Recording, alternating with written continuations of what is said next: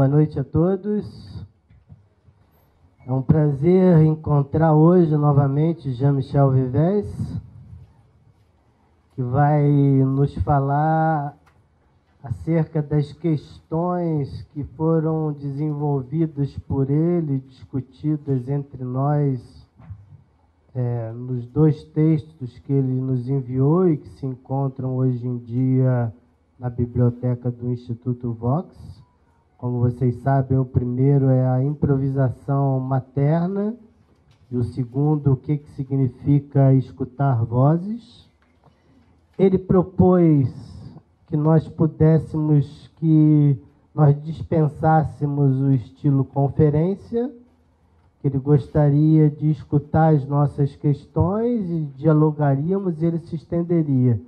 De qualquer maneira, como é sempre um prazer escutá-lo, eu propus que ele pudesse nos dizer algumas palavras antes de nós iniciarmos. Quero agradecer a você a presença em nome de todos os colegas, estar aqui com você outra vez e estaremos nos encontrando novamente em novembro em Búzios. Merci beaucoup. Euh, je suis euh, très heureux d'être euh, là ce soir. Muito obrigada, eu estou muito feliz de estar aqui hoje. Alors, je, je proposais euh, à, à Mauro euh, de, de travailler à partir de vos questions, puisque vous avez fait l'honneur de, de lire mes, mes textes. Et, Eu, eu propus a Mauro de trabalhar a partir das vossas questões, porque vocês me deram a honra de ler os meus textos et, et- et de les travailler. E de trabalhar sobre eles. Voilà. Donc, euh, j'imagine que vous avez des questions. Il y a peut-être des choses que vous voudriez euh, que j'éclaircisse. Il y a peut-être des points obscurs. euh, il y en a toujours dans, dans, la, dans la pensée. Donc, soit vous avez déjà des questions et je me lance à tenter d'y répondre.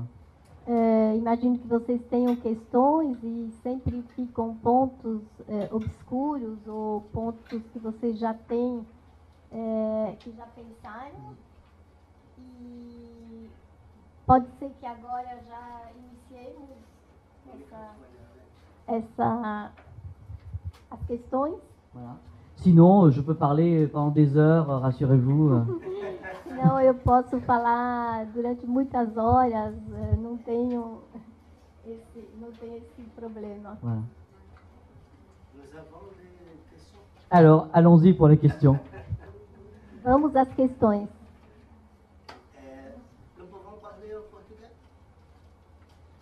On va essayer. Vamos tentar Ouais. falar em português. Quando Lacan comenta no seminário 1 a intervenção da Melanie Klein no caso Dick, Mhm. juntando os dois trens e atualizando o complexo de Édipo,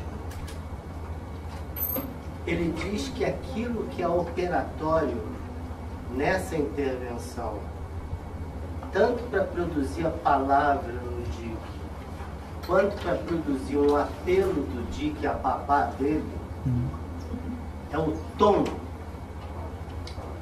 que ela utiliza. E ele destaca esse elemento tom como um elemento decisivo. Eu gostaria de saber de você se, segundo a sua experiência musical, haveria possibilidade de lançar algumas luzes do tom pela música para essa importância que o Lacan dá do tom em relação à produção da palavra. Hmm. Euh, oui, alors. Oui, excuse-moi. Euh, c'est une question euh, à la fois passionnante et un petit peu difficile. Pour pouvoir y répondre, il va falloir que je fasse un, long détour, mais j'arriverai euh, à répondre à la fin. É uma questão muito eh, passionante e ao mesmo tempo difícil. Eu tenho que fazer um longo, eh, uma longa volta para poder falar, mas eu chegarei lá nesse ponto. Alors, Euh, je vais reprendre ce dont nous étions en train de parler euh, juste avant de commencer euh, la soirée. Eu vou retomar aquilo que nós falávamos antes de iniciar eh, o evento. O evento. Euh, C'est euh, le cas de ce petit garçon autiste. É o caso desse, eh, dessa criança autista. Qui s'appelle Ron Suskind, un, un petit garçon autiste américain. Uma criança pequena americana que se chama Rudd Suskin, et dont euh, le, le- le père euh, euh, est, est un célèbre journaliste américain. cujo pai é um célebre jornalista americano. Alors ce petit garçon euh, a eu un développement normal jusqu'à l'âge de 3 ans. Até os três anos ele se desenvolveu normalmente.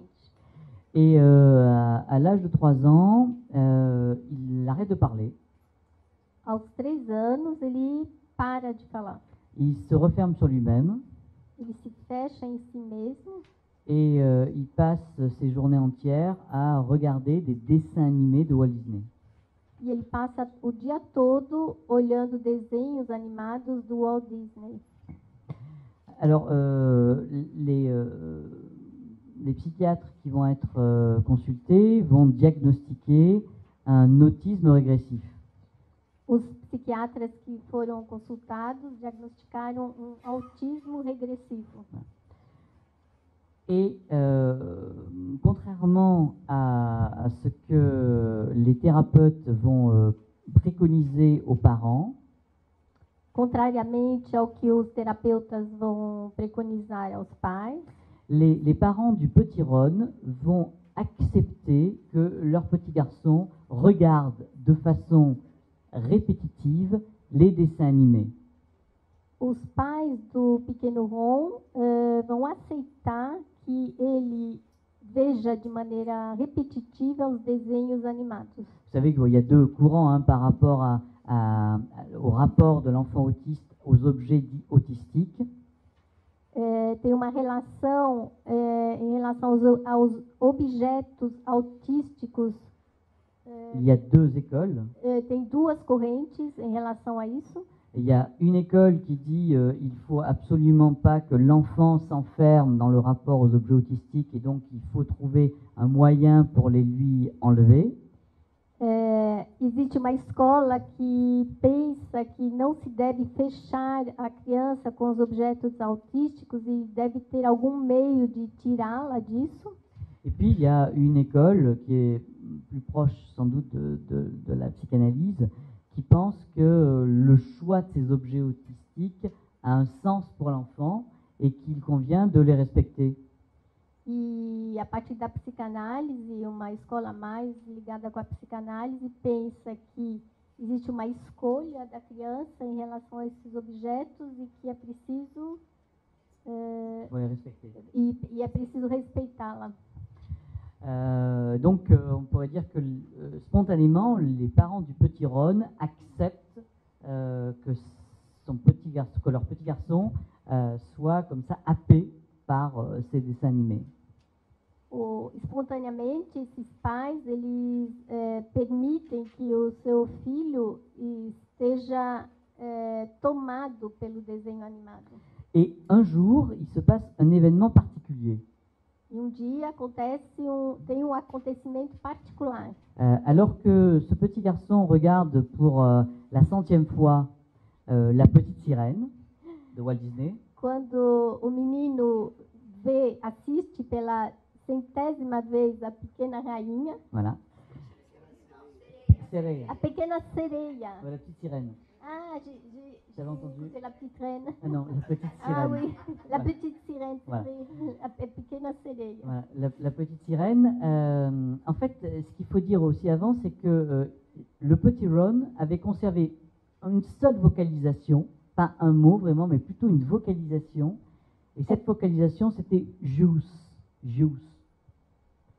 É preciso dizer que o pequeno Ron ele ele é, conservou uma vocalização, uma pequena vocalização apenas, e essa vocalização é Juice. jus. Voilà. Quelque chose que les parents ne réussissent pas à interpréter. algo que os pais não conseguem interpretar. Et c'est là que la question d'interprétation est importante, et on va revenir à Mélanie Klein. E aí que a questão da interpretação é muito importante e nós vamos voltar, retornar a Melanie Klein. Euh, donc il y a ce, ce signifiant énigmatique qui flotte et que le petit garçon euh, répète. Jus, jus, jus. Tem esse significante enigmático que eh, na água, né, como na água ele, flota, ele flutua e que o pequeno menino repete. Donc un matin, euh, le petit garçon est en train de regarder la petite sirène et euh, on arrive à une scène essentielle.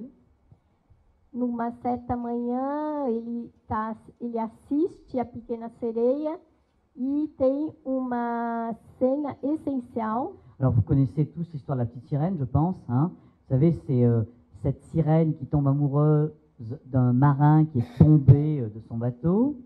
Vocês conhecem a história da Pequena Sereia, dessa, de- que tem um marinheiro que se apaixona, Voilà. apaixona Voilà. Et donc, euh, elle elle. veut retrouver le beau prince euh, sur la terre, mais c'est une sirène. Donc, elle n'a pas de jambes et elle voudrait pouvoir effectivement acquérir des jambes. Ela quer, é, ele, ela quer, né? Ela quer reencontrar um belo príncipe, é, mas ele não tem pernas. Ela não tem pernas. Et, euh, et donc, elle va voir, dans la scène qui nous intéresse, elle va voir la méchante sorcière et elle lui dit, je voudrais avoir des jambes. Et la sorcière va lui dire, pas de problème, il n'y a jamais de problème. E ela vai encontrar a bruxa na cena e ela vai pedir: Eu é, quero ter pernas. Mm. E a bruxa vai responder: Não tem problema. Si ce n'est que, bien sûr, euh, rien n'est gratuit en ce bas monde, et il va y avoir un échange. Nada é gratuito nesse mundo, então vai ter uma troca. Et l'échange, et ça c'est une idée qui n'est pas de Walt Disney, c'est une idée euh, de... de, de- ah, le- la petite sirène, c'est d'Andersen. C'est Andersen donc, qui, Mm. qui- qui a cette idée euh, géniale. Il demande, il fait demander à la, à- à la- à la sorcière la voix. E tem uma coisa genial, e não é do Walt Disney, essa, esse conto é de Andersen. Ele faz pedir, ela faz pedir à bruxa a voz. à Vos. Donc, elle pourra avoir des jambes, mais pour pouvoir avoir ses jambes, il faut qu'elle perde sa voix. Então, ela poderá ter pernas, mas para poder ter as pernas, ela terá que perder as per a voz. Et la sorcière dit à la petite sirène, just your voice. A bruxa diz à pequena sereia, feiticeira, just a voice, Just your voice. just your voice. Voilà. C'est-à-dire euh, juste, a sua juste ta voix. Hein, Juste ta voix. Et alors, bien sûr, à ce moment-là, la maman de Ron, la maman de Ron entend dans le use qui a été répété, just. Et elle dit à son fils, mais c'est pas just que tu dis, c'est just.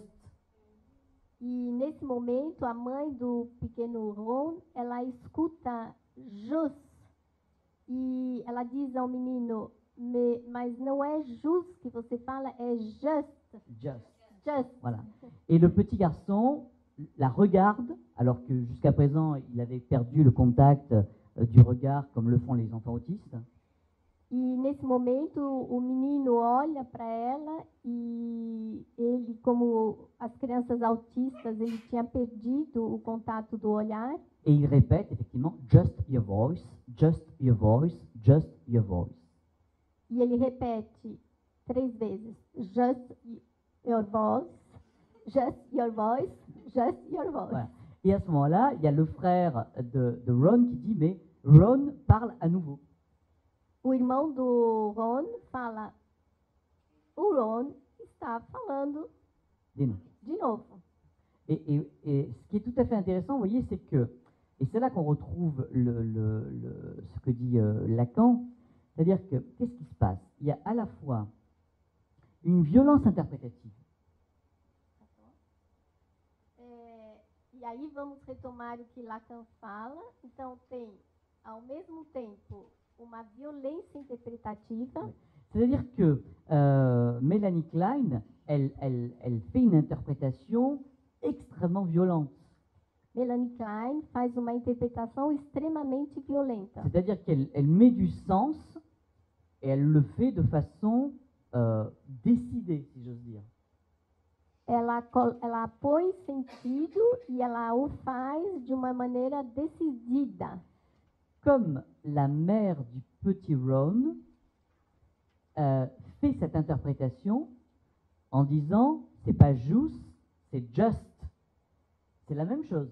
Da mesma forma que a mãe do, do Ron faz a interpretação, não é jus, jus, é just. just. Et donc là encore une fois, on a cette euh, in- violence interprétative, mais nécessaire. hein. C'est-à-dire qu'il faut à un moment découper, qu'il y ait une découpe dans le réel pour que les choses puissent s'instaurer sur un mode symbolique. É, e essa interpretação violenta, é, ela é necessária, porque é preciso que haja um corte é, no real para que venha um, um sentido, a dimensão simbólica. Et alors, qu'est-ce qui vient faire le ton là-dedans O que vem fazer o tom aí? Le ton, c'est simplement, euh, ce qu'on pourrait dire, c'est euh, le désir décidé qui soutient ça. O tom é apenas o desejo decidido que sustenta isso. C'est tout. C'est-à-dire que euh, c'est pas euh, un ton particulier, c'est pas un ton enveloppant, c'est pas un ton, je, tu vois, euh, c'est pas un ton musical. Não é um tom particular, não é um tom que envolve, não é um tom particular. C'est un ton qui assume l'interprétation. É um tom que assume a interpretação. C'est-à-dire que aussi bien Mélanie que Mélanie Klein que la mère de Ron, euh, c'est Vivaldi.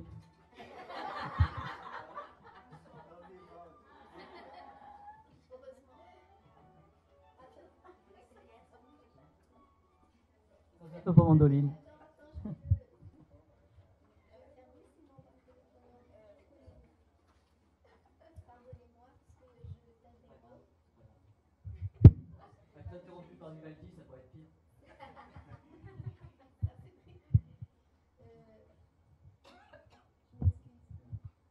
Alors, tu disais du tom. Tu vois, ce qui est, euh,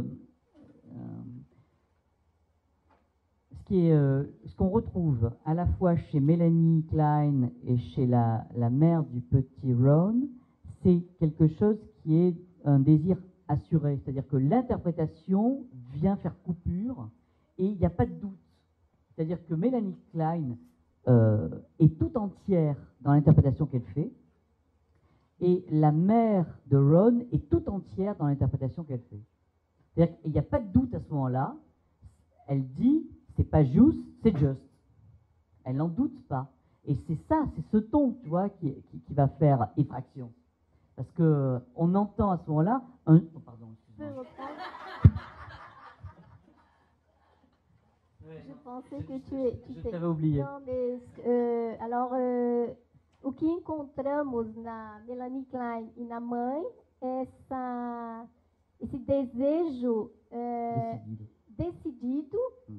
Que faz com que se assegure o corte.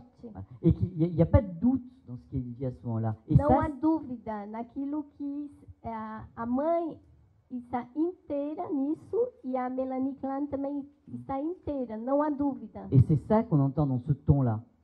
É isso que se escuta nesse tom. C'est pas un ton euh, injonctif, c'est pas un ton euh, euh, séducteur, c'est pas, tu vois, on n'est pas du tout là-dedans. On est simplement dans quelque chose où euh, celui qui prononce cette parole est totalement engagé dans ce qu'il dit. Não é um tom sedutor, não é um tom injonctif. é injuntivo, mas aquele que fala, quando fala, ele tá, está totalmente tomado naquilo que ele fala.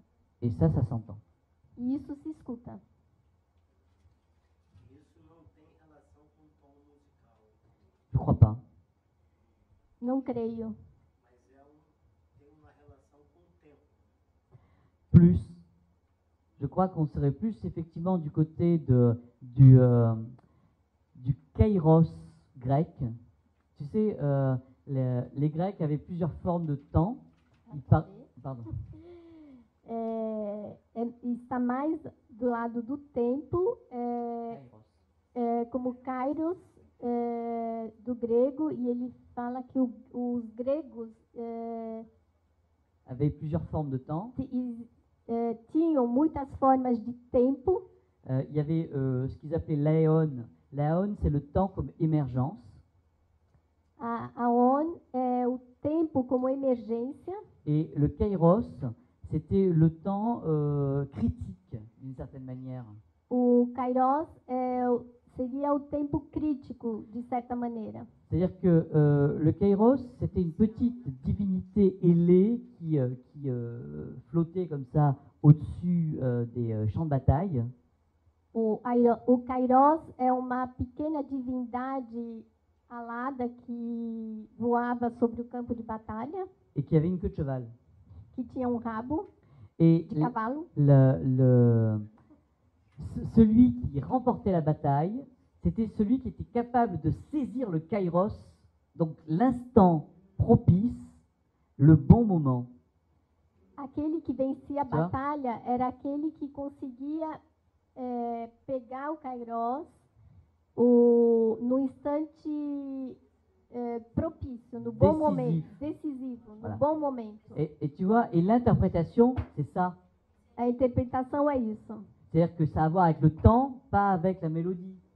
Tem relação com o tempo e não com a melodia. Et ça, c'est euh, Freud avait pressenti, Freud pressentiu et euh, ça a été euh, développé de façon magistrale par Theodor Reich. e foi desenvolvido eh, magistralmente por Theodor Reich. Puisque Theodor Reich parle de- du tact. Theodor Reich fala do tato. Ouais. Et euh, dans, dans le sens euh, allemand de tact, No sentido alemão de tacto, on a à la fois l'idée du contact, temos a ideia do contato, mais, exact, mais on a aussi l'idée du tact au sens musical, c'est-à-dire de quelque chose qui vient tomber au bon moment. temos também o sentido do tato musical. Isso quer dizer algo que, que cai no momento certo, no bom momento. Donc tu vois, ce ton, à mon avis, serait plutôt du côté de, de quelque chose qui tombe au bon moment que de quelque chose qui, qui aurait une forme euh, mélodique particulière. É, esse fato tem mais relação com o que cai no bom momento do que com uma forma melódica específica. Eu queria emendar nessa questão do tom, que eh, Je voudrais tá bom, tá bom, tá bom. Elle veut continuer la É, question a sur le questão ton. do tom, ah, por um ponto que sempre me impressionou na leitura do Fontaine, Para sobre enquanto os la loucos do toujours o louco, na impressionné. verdade, o Wolfson, que foi um dos loucos do Foucault, Tu comprends que ele- Alors, euh, fala mais devagar, ele não está entendendo, eu vou Ah. traduzir. de novo a questão do tom. La question du ton. que eu acho que a minha pergunta lança para um outro lugar, mas nem tanto. Ma question, elle euh, va en autre, à un autre lieu, mais pas, pas, euh, ouais, pas tellement, pas tellement. Fontaine, dans un article sur le son, il dit ce qui était insupportable pour Wolfson, era o tom do som c'était le ton du son.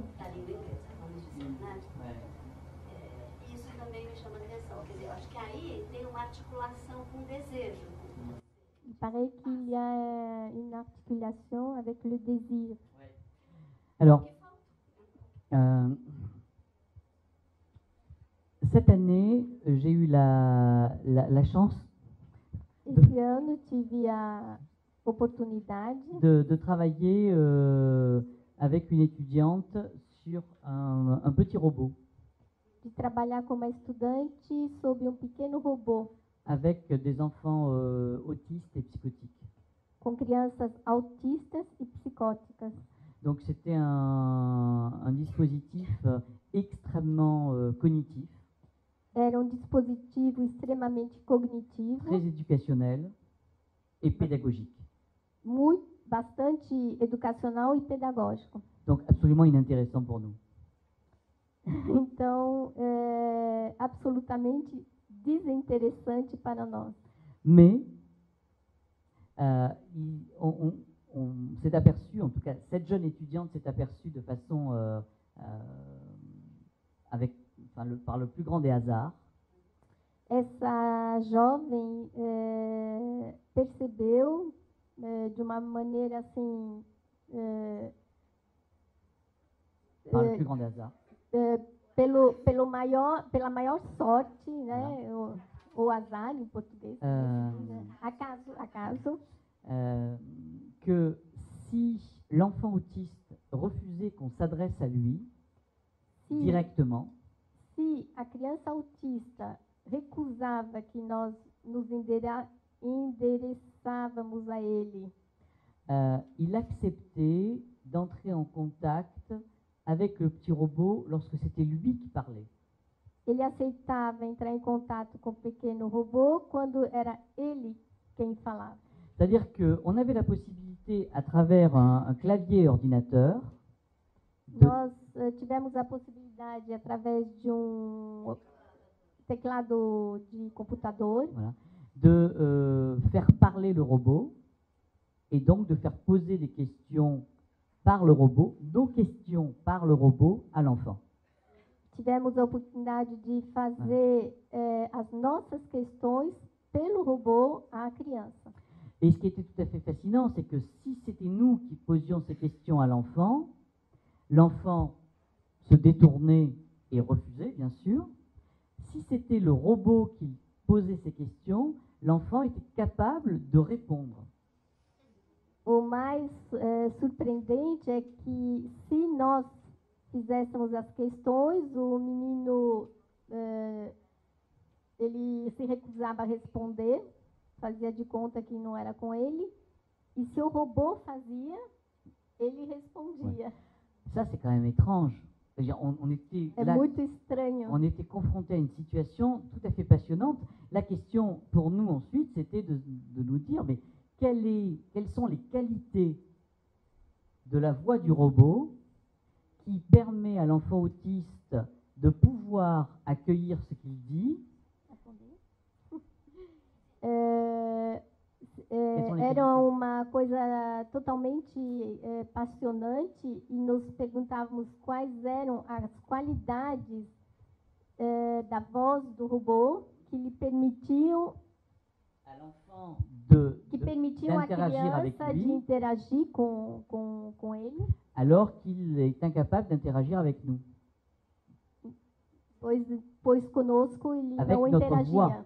Ele era incapaz de Voilà. Interagir conosco, a nossa voz. Eh bien, là, ça répond à votre question Isso responde à sua questão de façon radicale. de forma radical. C'est-à-dire que la voix du robot, c'est une voix machinique, A voz do robô é uma voz mecânica et cette voix mécanique, elle est absolument détimbrée. Détimbrée. ela é uma voz absolutamente sem timbre. Voilà. Et cette question du timbre, Essa questão do timbre c'est ce que euh, Fontaine essaye d'attraper, à mon avis, de façon un peu maladroite, à é part- o que Fontaine tenta se aproximar eh, de uma forma un poco. torta, Voilà. Parce que quand euh, euh, il parle du ton, parce que c'est pas le ton, encore une fois. Et là, vous voyez, je, je crois que le, le vocabulaire euh, musicale doit être précisée si on veut comprendre de quoi il s'agit. Quand il parle du tom, porque de novo não é o tom e il est preciso euh, vocabulaire musical. le vocabulaire musical il precisa ser exato. Parce que euh, le ton, euh, pour un musicien, c'est quelque chose de bien précis. Ça renvoie à la tonalité. Para algo de muito preciso, é a tonalidade. Voilà. Et donc, euh, il y a plusieurs tonalités, etc. etc. Mais ça, c'est pas ce qui nous intéresse. Là, ce qui va Tem muitas tonalidades, mas c'est pas ce qui nous intéresse. não é o que nos interessa. Ouais. C'est pas pour ça que je, je ne dois, je ne dois dois pas, pas le dire.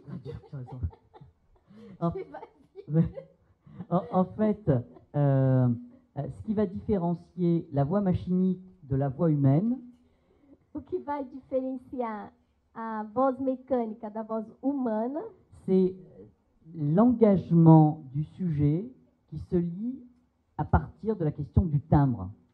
o engajamento do sujeito que se lê a partir La do, question, da questão do timbre. Voilà. Euh, on sait très bien que euh, un timbre, on peut euh, le reconnaître quasi immédiatement. Um timbre, sabemos que podemos reconhecê-lo quase imediatamente. Euh, la preuve en est, c'est que les expériences qui ont été faites par les euh, psychologues euh, du bébé A prova é que as experiências que foram feitas por, pelos psicólogos de bebês euh, montrent que le bébé est capable d'identifier la voix maternelle mostram que o bebê é capaz de identificar a voz maternal dès le début. desde o início. Voilà. Et qu'est-ce qu'il identifie Il identifie le timbre de la voix maternelle. Ele identifica o timbre da voz maternal. Et effectivement, ce qui gêne Wolfson, c'est pas le ton de la voix de sa mère, c'est le timbre de la voix de sa mère. Voilà. E no que toca Wolfson, ele é no timbre da voz da mãe, não no tom. Voilà, c'est ça.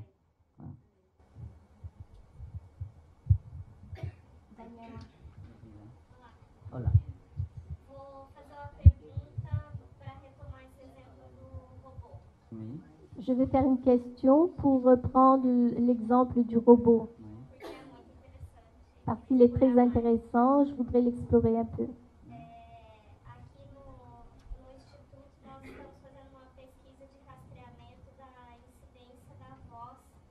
Ici, à l'Institut, euh, nous, travaillons sur les questions de la voix.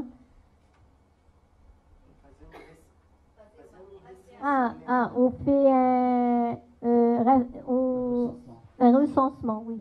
oui. Une recherche.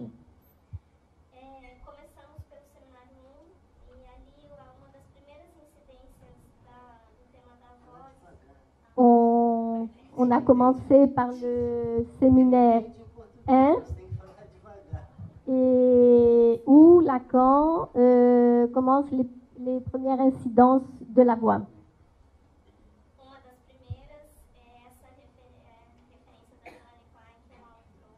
Une des premières, c'est celle que Mauro a apportée, a faite,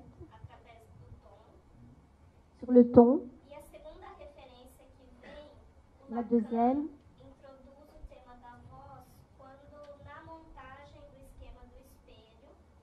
euh, il, fait- il introduit le, le, la voix. Quand, dans le montage du miroir, dentro da montagem do esquema do espelho, ele liga a voz à introdução do espelho plano, il lit la voix. Il lit la voix à l'introduction du miroir plan euh, et dit que c'est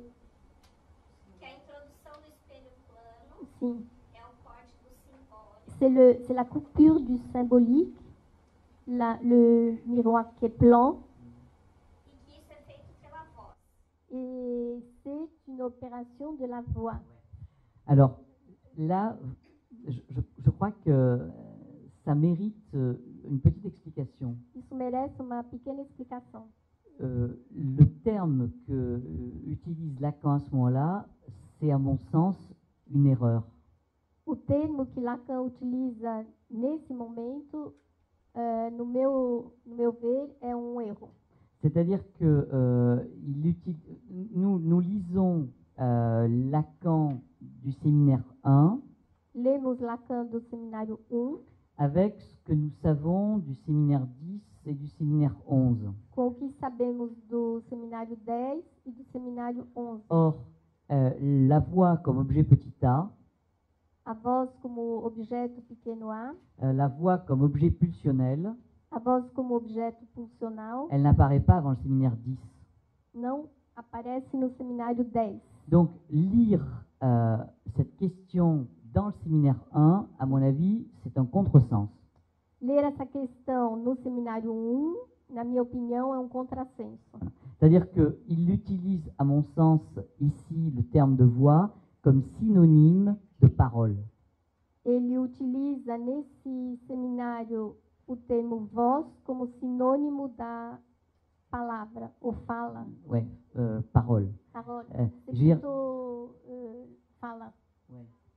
Et, et- et en fait, la, la- la distinction très fine qui va s'opérer entre langage, parole, voix, A distinção muito fina que vai se operar entre linguagem, fala e voz elle va apparaître à partir du séminaire euh, 10. vai surgir a partir do seminário 10. Voilà, vraiment. Avant, euh, il y, a- il y a une espèce de euh, flottement Antes disso, tem uma espécie de flutuação euh, où euh, les termes peuvent être utilisés les uns pour les autres. onde os termos podem ser utilizados uns por outros. Et, et- et- et là, vous voyez, si, si on, on- on essaye de, de forcer euh, le, le- schéma, euh, E se eh, forçamos, se tentamos forçar o esquema, en, en introduisant euh, la question de la voix, introduzindo a questão da voz, je pense qu'on ne comprend pas ce que raconte Lacan. eu penso que não podemos saber o que conta Lacan. Il, faudrait, il faut lire Lacan du séminaire 1 É preciso ler o Lacan do seminário 1 comme si on savait rien du Lacan du séminaire 2, 3, 4, 5, 6, 7, 8, 9, 10. como se E- não soubéssemos nada do seminário 1, 2, 3, 4, 5, 6, 7, 8. Voilà. Si- sinon, vous voyez, euh, il y a une espèce d'écrasement. Est- Não, tem uma espécie de atropelamento et, et- et du coup, euh, je crois qu'on on, s'égare. e nós, no- nós nos perdemos. Vous savez, euh, Lacan, euh, la théorie de Lacan, elle n'est pas sortie comme ça, euh, telle Athéna euh, hein, du crâne, du crâne de Zeus.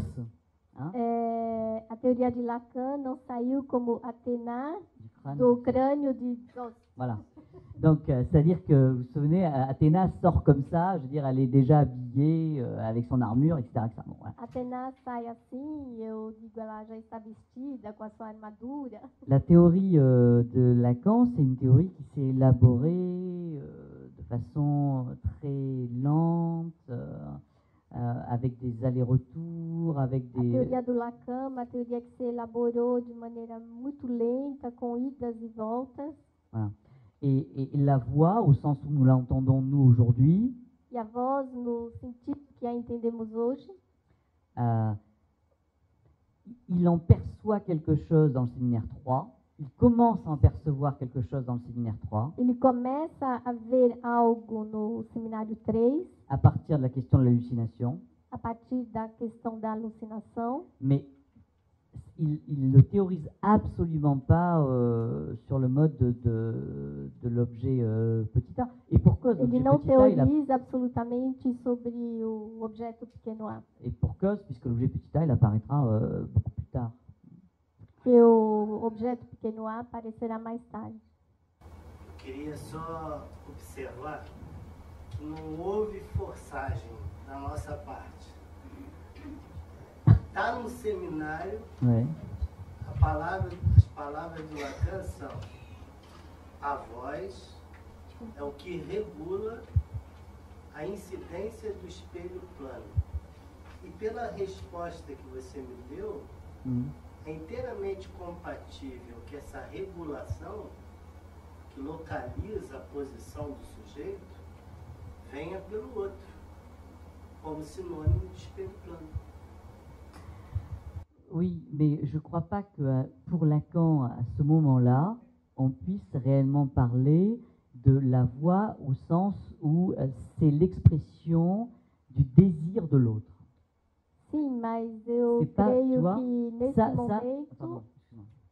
nesse momento, eh, não se pode dizer que Lacan, Lacan eh, fala, fala da voz como expressão do desejo do outro.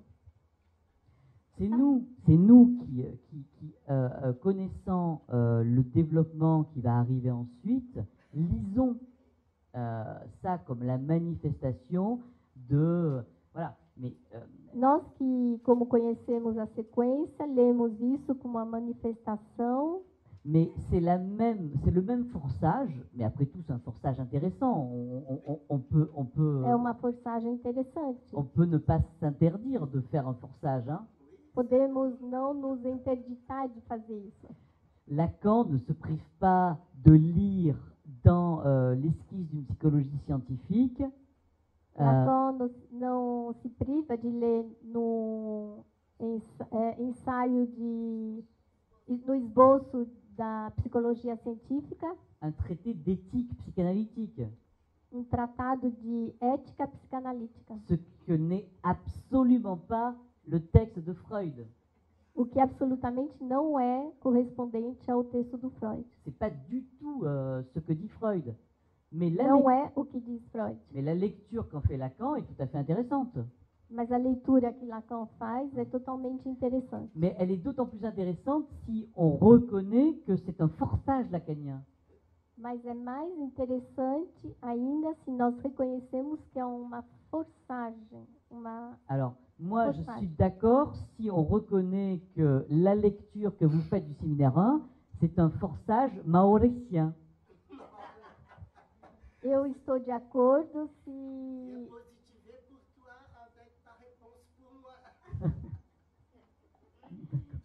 é, é, estou de acordo se vocês reconhecerem que é, é uma forçagem Mauricien. do ponto de vista Mais mauri, mauriciano. Ça, ça- ça crée du sens et c'est tout à fait intéressant. Isso cria sentido e é totalmente interessante. Eu vou concluir a pergunta, porque era só a metade dela. C'était la moitié de la question. Très bien. Já. Ouais. Justamente, Devagar.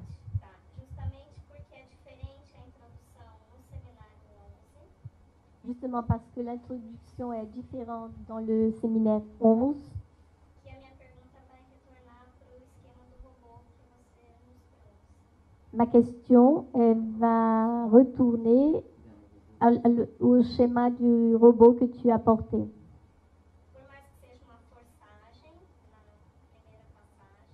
Même que ça soit un forçage de- du premier passage,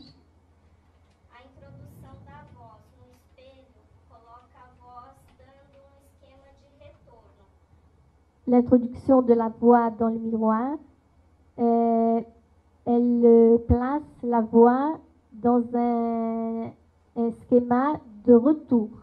No seminário 11, essa vertente de retorno parece Dans le séminaire esvaziada 11, pelo Lacan. le séminaire 11, euh, cette vertente du, du retour, elle est. elle est euh, annulée par Lacan, No seminário 11, ele, évidée, pardon. no seminário 11, ele faz uma distinção entre o trajeto da pulsão escópica e. Dans le séminaire 11, il fait une distinction entre... Ah oui, tu as compris. Coloca a pulsão escópica como sempre esse trajeto que implica um retorno e coloca a pulsão invocante como um trajeto reto, que não tem o ponto reflexivo. Je suis pas d'accord avec Lacan là. Et je vais vous expliquer pourquoi. Não estou de acordo com On a, Lacan. on a le droit de pas être d'accord avec Lacan. On a le droit, euh, temos o direito de não estar de acordo com Lacan. Mas só para finalizar minha pergunta, Ouais. a questão é saber se nesse esquema do robô, o que justamente entra em jogo para o menino autista não é uma combinação da ausência com a voz diferenciada. Já cumpri. Oui, j'ai compris. J'ai déjà répondu à Mauro, mais je, je vais euh, répondre différemment. Je suis pas d'accord Eu avec já respondi a Mauro, mas eu vou responder de outra forma. Je, je- pense que Lacan a raté quelque chose par rapport à, à la, au circuit de la pulsion invocante. Eu penso que Lacan eh, fracassou em algo eh, em relação à pulsão invocante, Euh, parce que euh, la pulsion invocante a cette particularité d'impliquer deux zones. porque a pulsão invocante tem a particularidade de implicar duas zonas, Deux zones au carré. duas zonas ao quadrado, C'est-à-dire que ça implique la bouche et l'oreille a boca e a orelha de l'enfant da criança et la bouche et l'oreille de l'autre. e a boca e a orelha do outro. On va pas l'appeler la mère tout de suite. Não vamos imediatamente chamá-la de mãe. Donc, on, tu vois, ça sert le, le tableau. tu me demandais si j'allais l'utiliser, voilà, je l'utilise. Donc, qu'on pourrait, si, si on, si on voulait essayer de, de dessiner le circuit de la pulsion invocante, Se tentamos desenhar o circuito da pulsão invocante, c'est une proposition, hein, je ne dis pas que j'ai- raison, mais c'est ce que, c'est comme ça que je- j'essaye de le penser. é uma proposição, não digo que eu tenho razão, mas é assim que eu eh, o penso. Alors, euh, vous avez lu euh, bien sûr les, les travaux de Michel Poisat, Vocês leram certamente os trabalhos de Michel et Poisson. vous vous souvenez que Michel Poisat a cette très belle idée de parler de, du cri pur et du cri pour. E Michel Poisson tem essa bela ideia de falar o grito puro e o grito para. Voilà. Euh, donc, euh, le cri pur, O Ça- grito puro ça serait ce cri mythique, é o grito, seria o grito mítico, voilà, euh, que pousserait l'enfant euh, dans un état de souffrance au moment de la naissance pour tenter d'exprimer hors du corps l'état de souffrance? que leva a criança a expressar o estado de sofrimento e que a leva a expulsar esse sofrimento eh, para fora. Donc, ce, ce cri, il n'est pas du tout euh, pris dans quelque chose qui serait de l'ordre de la demande. C'est une expression seria- sonore pure. Não seria tomado na, em relação, eh, como uma demanda. É uma expressão de puro sofrimento. Donc euh, ça, ça serait le, la première expression. C'est comme ça que viendrait se, se, se- se lancer, si j'ose dire, le circuit de la pulsion invocante. On aurait là donc ce cri qui sortirait de la bouche de l'enfant, Esse eu ouso dizer, eu ouso dizer que esse seria o primeiro eh, ponto. et là vous, Esse grito que sai da boca da criança, et vous voyez que là le S n'est pas encore barré. Hein? O S ainda não está barrado, vocês veem? C'est euh, ce que Lacan appellera le sujet de la jouissance. É o que Lacan chamará o sujeito do gozo. Donc ça, on est du côté du cri pur. Estamos do lado do grito puro. Ce cri pur, il va venir résonner dans l'oreille de l'autre. Esse grito puro, ele vai ressoar na, no ouvido do outro. Voilà. Et dans le meilleur des cas, la plupart du temps, No melhor dos casos, a maioria do tempo, euh, il va y avoir une réponse. Haverá uma resposta. Et là, on voit la seconde euh, zone qui est impliquée, qui est la bouche, qui est la zone pharyngée de l'autre. E Lá vemos a l'oreille. segunda zona implicada, que é a boca, Là, a la bouche. zona da faringe do outro. Et là, qui va venir résonner dans l'oreille de l'enfant. E que vai ressoar na orelha da criança. Donc, bouche, Na oreille, orelha não, no ouvido. Bouche, oreille, Boca, ouvido, bouche, oreille. boca, ouvido. Une fois que euh, le circuit de la pulsion invocante se sera bouclé dans l'oreille de l'enfant, Uma vez que o circuito da pulsão será é, enlaçado na pela ore, pelo ouvido da criança, le, le prochain ne sera plus un cri pur, mais sera déjà un cri pour, donc qui sera pris dans la demande et dans un appel. O próximo não será mais um grito puro, mas será um grito para e será tomado pela demanda e chamado apelo. Ça, effectivement, c'est euh, strictement propre à la question de la pulsion invocante. Isso é estritamente próprio à pulsão invocante. Ça ne concerne absolument pas une autre pulsion, c'est-à-dire que ce pas les, les objets euh, de la demande que sont euh, le Não sein ou les fesses. concerne, não concerne nenhuma outra pulsão, os objetos que concernem a da demanda, os concerne eh, o, o seio, Aux fesses, les fesses, oui. les, o, o excremento, é fezes, Et, et, euh, ni euh, l'objet du désir qui est le regard, nem o objeto do olhar, mais effectivement, et c'est propre à, à cet objet euh, particulier qui est la voix, qui nécessite effectivement la mise en jeu de deux personnes pour venir se boucler et de deux zones érogènes qui sont euh, l'oreille et, et la bouche. é próprio à, à pulsão invocante que precisa de duas orelhas, dois ouvidos Ouais. E, e, de- e duas zonas de Deux zones érogènes. e duas zonas erógenas. Alors, si on revient sur l'histoire du, euh, du petit robot, se referme. Se referme. Euh, ce qui est intéressant euh, dans cette histoire de robot, O que é interessante nessa história de robô c'est que euh, ça permet d'exprimer un dit sans dire. permite expre- expressar um dito sem dizer. C'est-à-dire, qu'est-ce que c'est que le dire?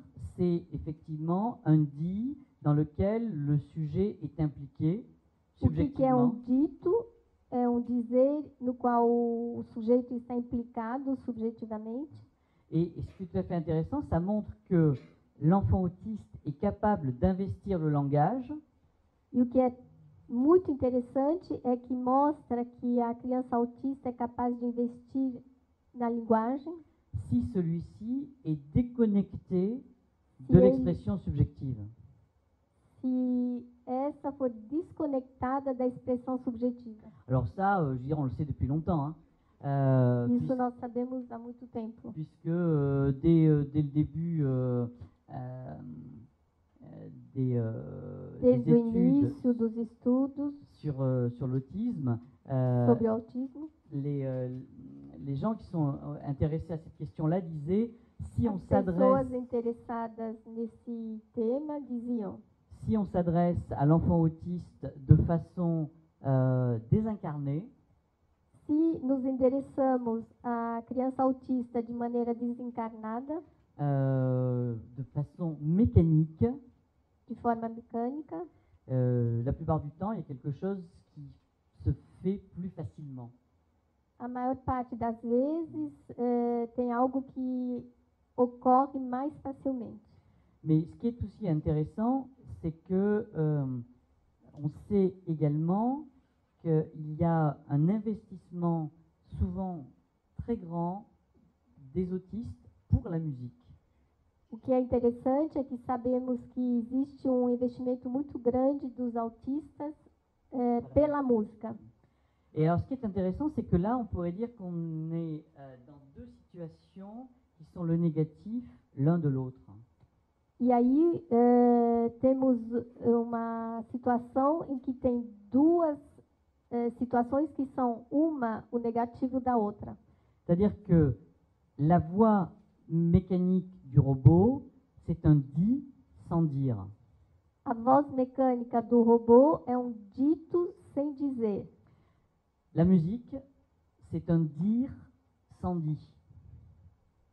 A música é um dizer sem dito. C'est-à-dire que, euh, vous savez, euh, c'était euh, euh, Stravinsky Stravinsky qui disait La musique ne dit rien, dizia: a música não diz nada, mais elle le dit bien. mas ela o diz bem. C'est génial ça. Non, euh, c'est essentiellement la musique instrumentale et É essencialmente a música instrumental. la musique qui, qui, euh, qui met en jeu la voix souvent est, est- est- est vécue de façon euh, plus difficile A música que mistura a voz é vivida de maneira mais complicada. Mais en même temps, c'est encore une fois pas très simple, puisque moi j'ai eu aussi des, des- j'ai travaillé avec des, en- des enfants autistes qui Mas investissent, ainda não é, é- mas é, assim mesmo não é muito simples. Eu trabalhei com crianças autistas qui, euh, qui investissaient euh, de façon très grande les comptines, par exemple. que investiam de uma forma muito grande o, a, Les comptines, les chansons le- as músicas infantis. Donc euh, là encore une fois, je dirais, c'est difficile de, de- de- de- de répondre de façon générale. hein. É difícil responder de uma forma geral, Mais euh, ce qui m'intéresse, moi, dans la, la- la formule de Stravinsky, O que na fórmula de Stravinsky, c'est qu'il il nous montre, il nous fait entendre quelque chose de très précis, ele nos faz escutar algo muito preciso. c'est-à-dire que la musique ne raconte rien. A música não conta nada, Mais pourtant, mas on, quand euh, Stravinsky dit « elle dit rien mais elle le dit bien quando ele diz e, e não a música não diz nada, mas o diz bem, c'est-à-dire que euh, nous avons toujours tendance effectivement à nous sentir adressés par la musique. Temos tendência a nos sentirmos interessados pela música, Comme si elle s'adressait à nous. como se ela se endereçasse a nós. Mais le fait effectivement qu'elle s'adresse à nous en nous disant rien, Mas o fato que ela se endereça a nós sem nos dizer nada, permet à l'enfant autiste effectivement d'accepter cette adresse permite a criança autista efetivamente de aceitar esse endereçamento, parce que ce n'est pas une adresse qui est soutenue par une parole et donc à partir de là elle n'est pas intrusive.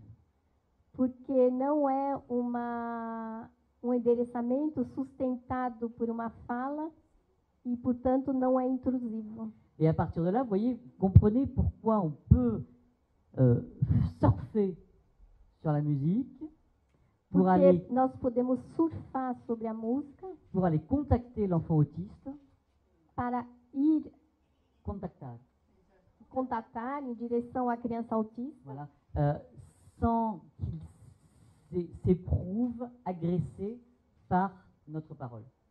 sem que ele se sinta agredido pela nossa fala. Vous voyez? Donc c'est ça le négatif, que quand je disais tout à l'heure, c'est le négatif l'un de l'autre. D'un côté, la voix mécanique, donc É o que eu dizia parla. no outro momento, um é o negativo do outro, de um lado a voz mecânica, ça parle, mais il n'y a pas d'investissement subjectif. isso fala, mas não há eh, investimento subjetivo. Euh, du côté de la musique, il y a un investissement subjectif énorme, Do lado da música, há um investimento subjetivo enorme, mais ça ne dit rien. mas não diz nada. Voilà. Donc vous voyez, c'est... euh, Mas para concluir a questão dela, Por finir essa questão, que você não, não concluiu, há um primeiro tempo na pulsão invocante que não tem retorno. Ela- há um primeiro tempo que é sem retorno. Se encontra na dependência do outro a possibilidade de haver retorno, esse grito puro. C'est la seule pulsion qui nécessite la présence de l'autre pour pouvoir se boucler. é a única pulsão que precisa da presença do outro para poder se fechar, se- ser enlaçada. Si effectivement il n'y a pas d'autre, Se efetivamente não há outro, bah, il n'y a pas effectivement d'introduction euh, du sujet dans le circuit de la pulsion invocante, avec tous les effets euh, mortifères que cela a, bien sûr. não há introdução do sujeito na pulsão invocante com todos os efeitos mortíferos que isso pode ter.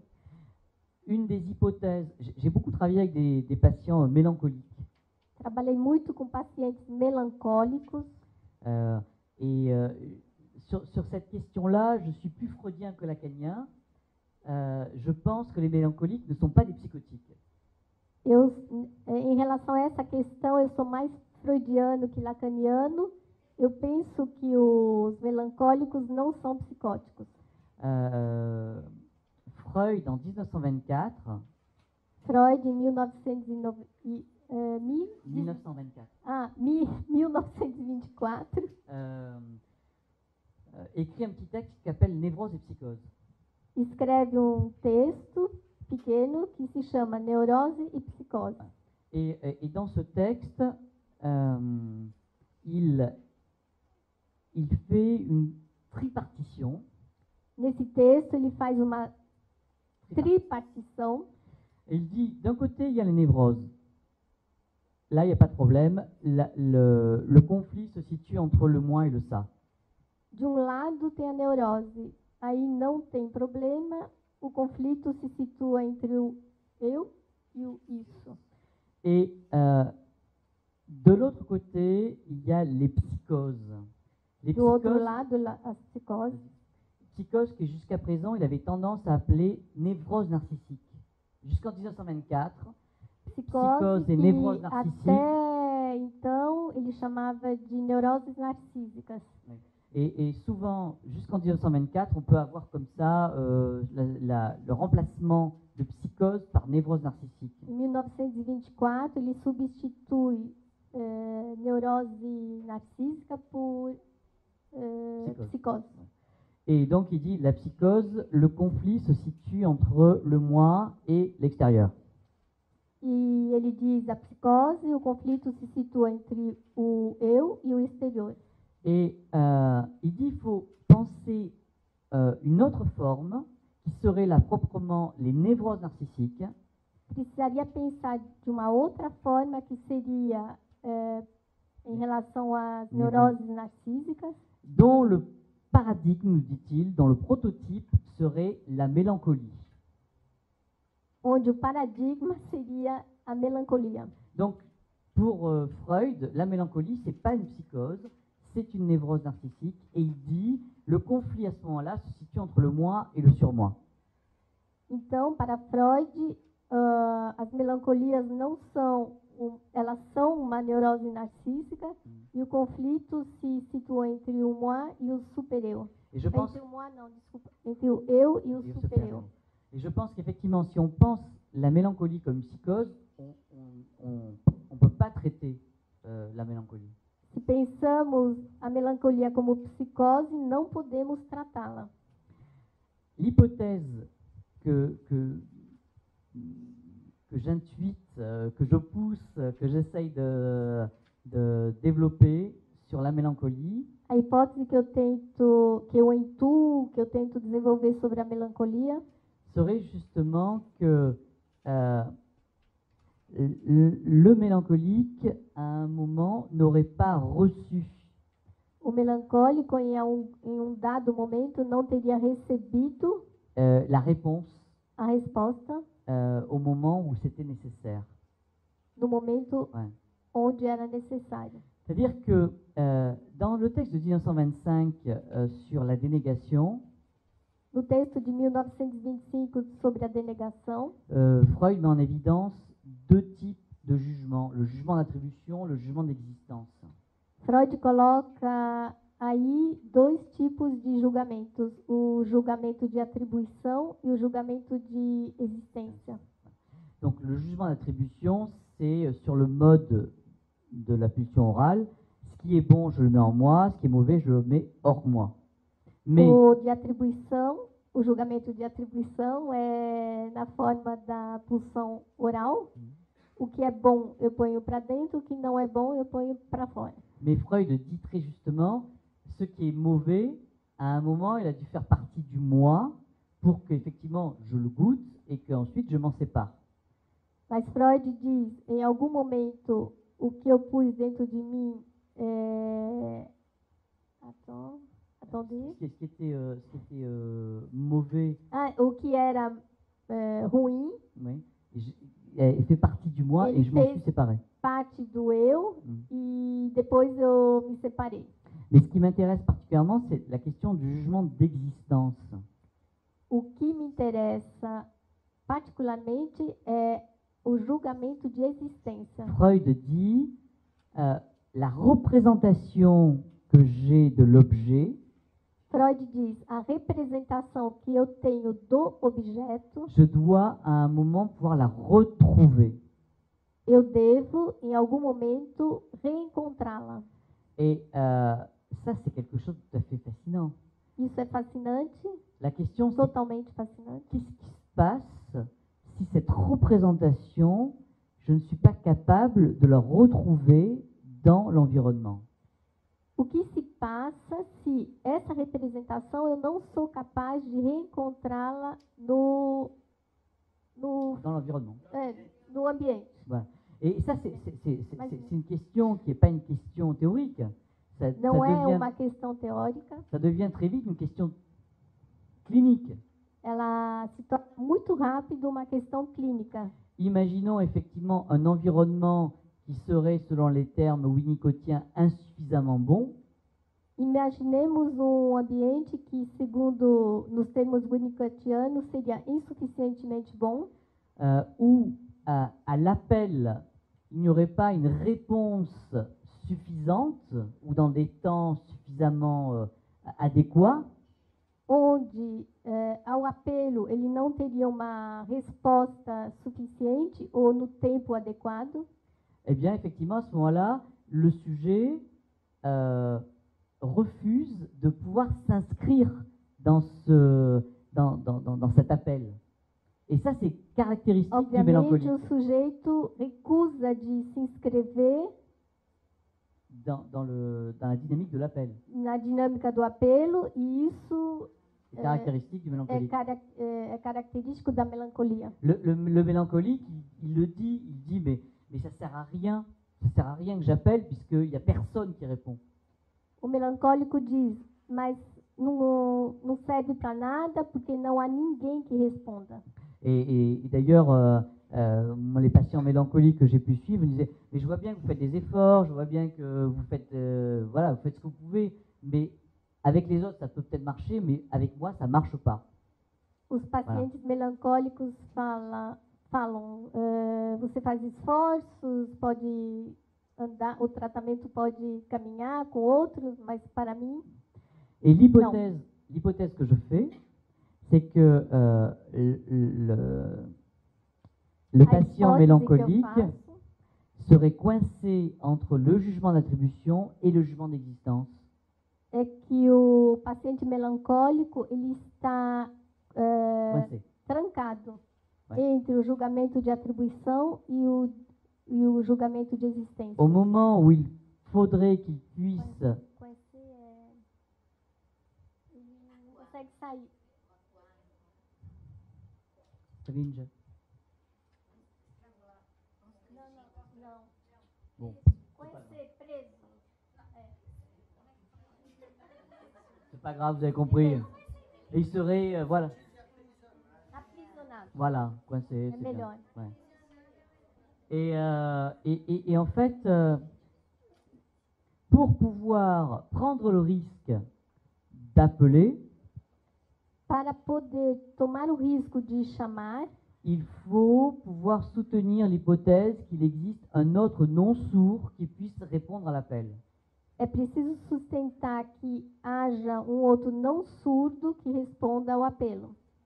Et si l'enfant n'a pas été capable de constituer cet autre non-sourd, E se a criança não foi capaz de, de constituir esse outro não surdo, eh ben, je veux dire, euh, on est toujours dans la- le risque que cette voix tombe dans, l'appel- sempre sob o risco da voz cair no Voilà. Et que, euh, effectivement, euh, l'appel tombe et il ne soit pas euh, re- repris par un autre.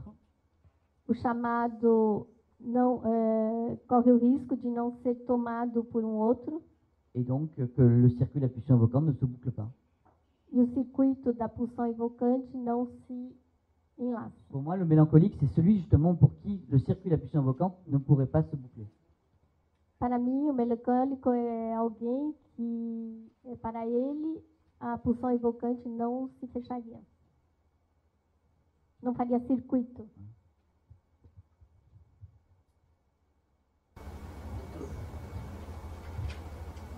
A questão do timbre.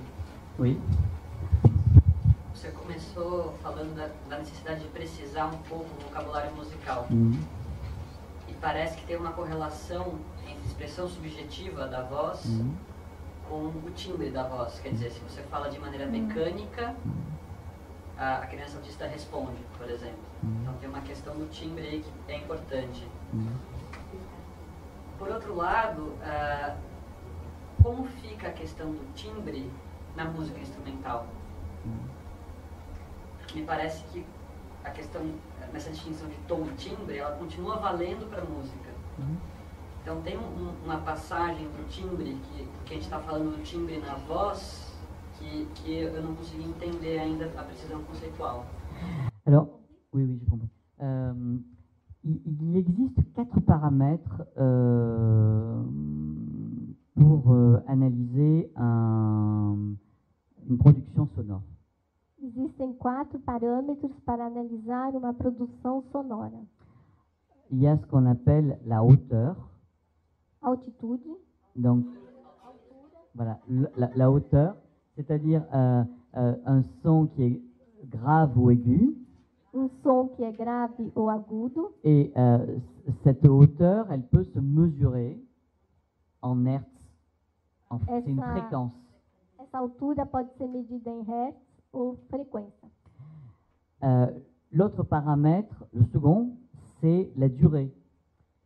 Ah, o segundo parâmetro é duração. Et euh, là encore une fois, cette durée, c'est quelque chose qui peut se mesurer en secondes. Isso também pode ser medido em segundos. Le troisième paramètre, c'est la puissance, O terceiro parâmetro é a força, c'est-à-dire un son, potência. ouais, un son qui sera doux, faible, ou un son qui serait fort.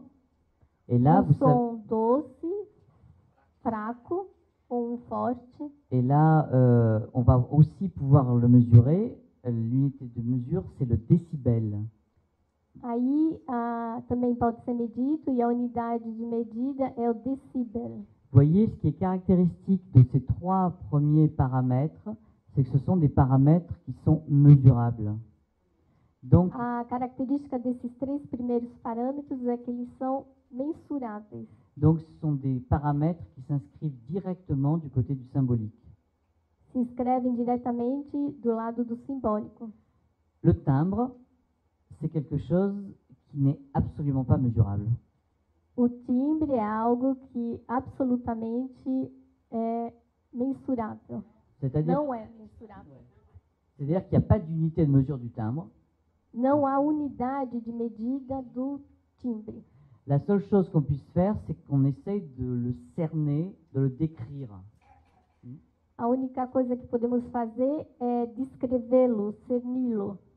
Euh, D'ailleurs, si on essaye de décrire le, le timbre d'une voix, eh ben, on pourra dire, euh, on va ajouter comme ça euh, des, des, euh, des adjectifs en disant c'est une voix qui est caressante, c'est une voix qui, est, qui, qui a des couleurs ambrées, enfin voilà. Mais tout ça, ça réussira jamais à, à- à rendre compte de ce que c'est que le timbre de cette voix.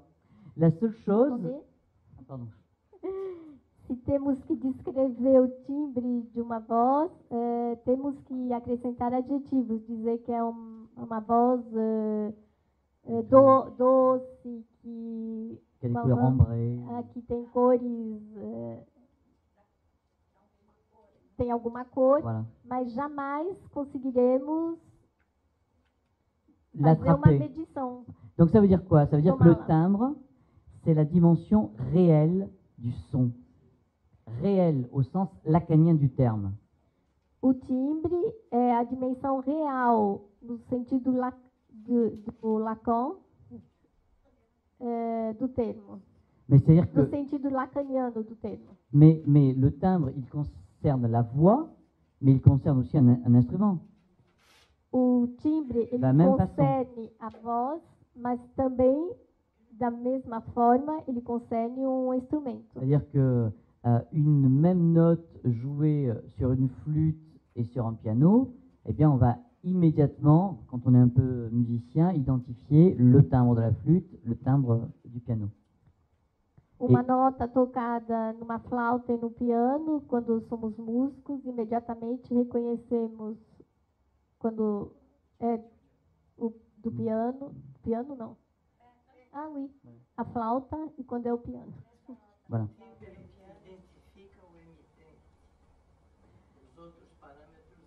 Absolument. Tout à fait. C'est-à-dire que le timbre, c'est ce qui va venir spécifier, identifier de façon euh, euh, euh, insubstituable, O insubstituable, timbre é o que vai vir identificar de maneira insubstituível euh, une présence. uma presença. Voilà. C'est-à-dire que le timbre de cette voix-là, elle est absolument insubstituable au timbre de cette voix-là. Mais même O le timbre, timbre dessa voz é absolutamente insubstituível ao timbre dessa outra voz. Et le timbre de ce piano n'est pas substituable au timbre de ce piano. C'est-à-dire que euh, on, est tous, euh, quand on est musicien, euh, il y a des instruments qu'on a envie de jouer, hein, et c'est pas forcément parce que la mécanique est meilleure, ça peut l'être aussi, mais c'est parce qu'on entend dans le timbre de ce piano quelque chose qui résonne pour nous.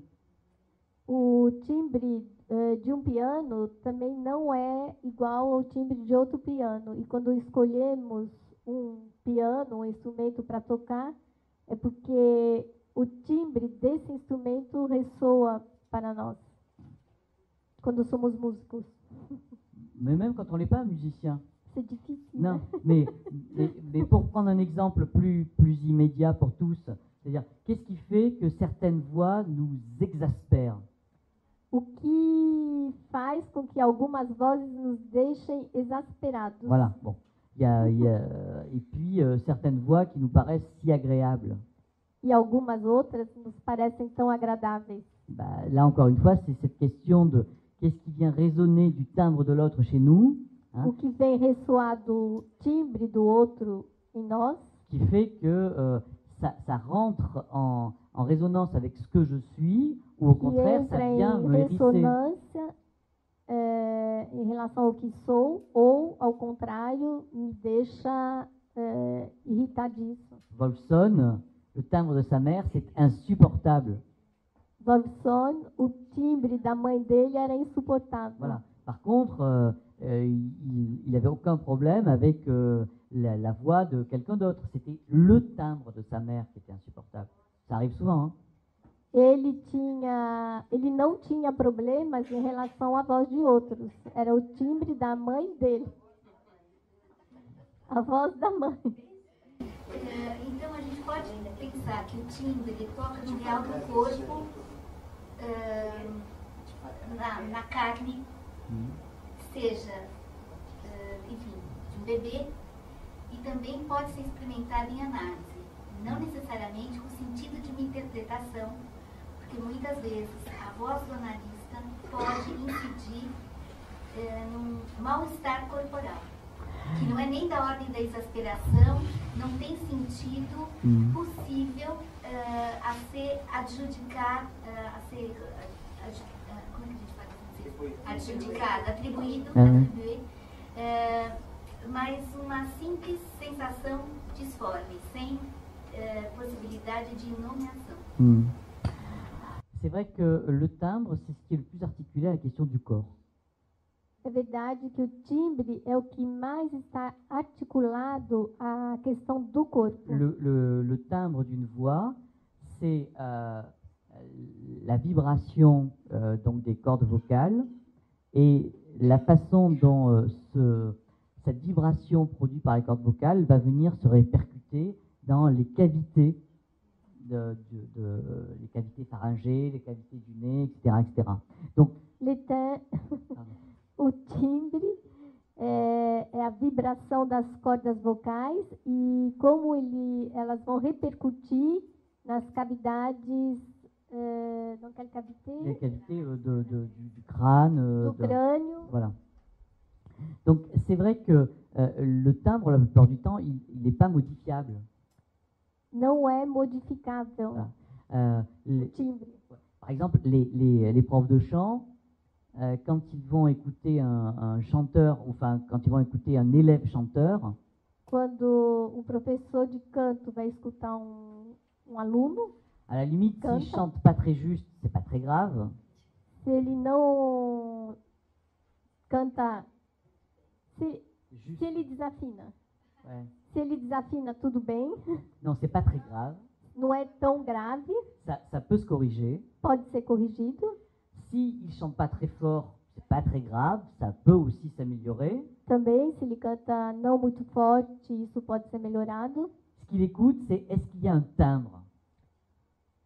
O que ele escuta é se há um timbre. Voilà. C'est-à-dire, est-ce que c'est une voix qui est reconnaissable hein Est-ce que c'est une voix qui a ces qualités de, de timbre qui font que on peut comme ça s'accrocher à la voix de Maria Callas?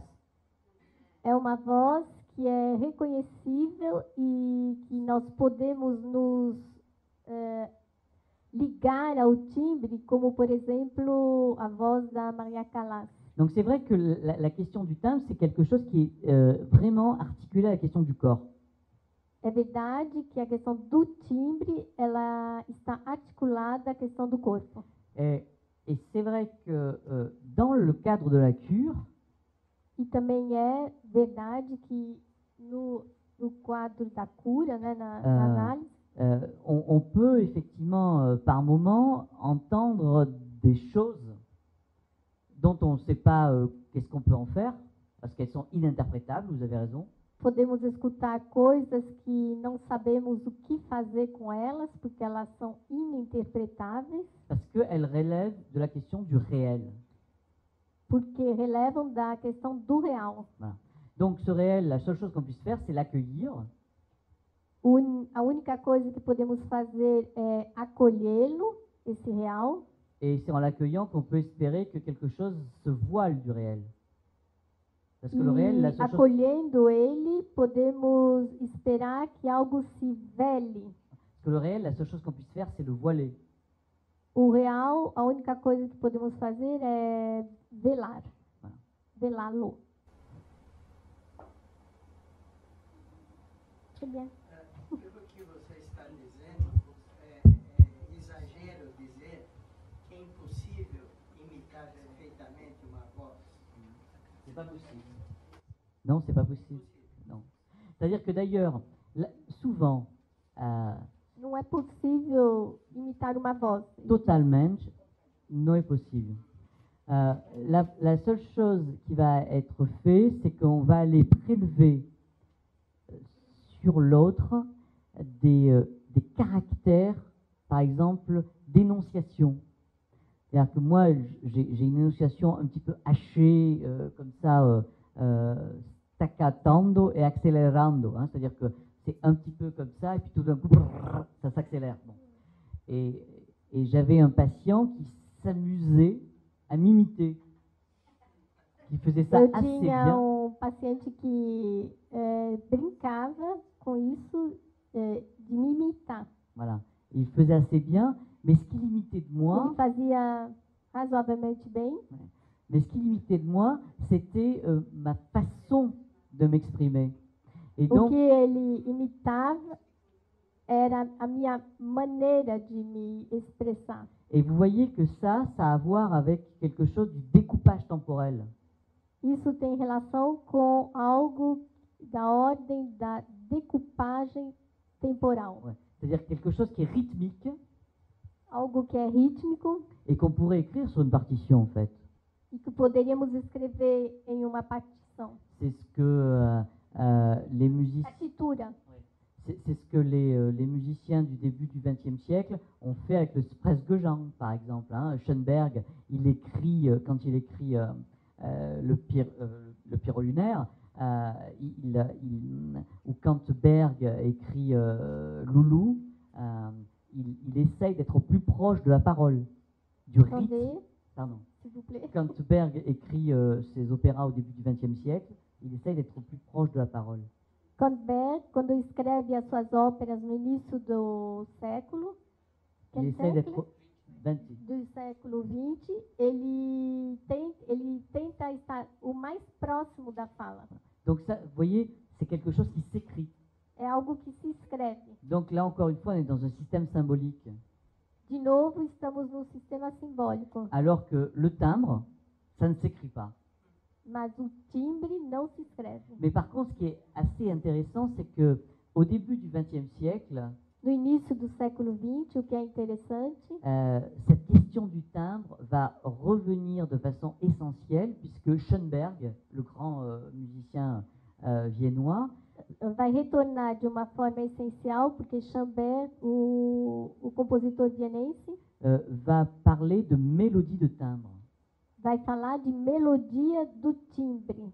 C'est-à-dire que on va plus faire des mélodies avec des notes, mais ce sont en fait des, des timbres. C'est-à-dire qu'il va y avoir une note au bois, une note à clarinette, une note de harpe, qui va créer comme ça, mais c'est des timbres qui l'intéressent, voyez Et la Não musique, vamos, eh, ele, ele propõe, não vamos mais fazer notas, mas são notas de eh, timbre. Então, um, um tom flûte. da harpa, um da clarineta, outra da flauta. et là, vous voyez, ce qui est intéressant, c'est que, le- on pourrait dire que la musique du XXe siècle, O que é interessante, que podemos dizer que a música do século XX c'est celle qui essaye justement de venir cerner au plus proche la question du réel. é a que tenta cernir o real o mais próximo, o que tenta eh, mais de perto cernir o real. Comme la peinture avait tenté de venir faire voir l'invisible, Como a pintura tentou fazer ver o invisível, c'est-à-dire c'est le tournant du XXe siècle avec euh, l'impressionnisme, avec ensuite euh, ben, le, le, le, le non-figuralisme. A virada do século XX com impressionismo, com não figuralismo, tout d'un coup, c'est l'invisible qui nous saute au visage.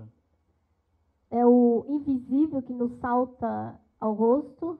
Euh, la musique du début du XXe siècle nous fait entendre l'inouï.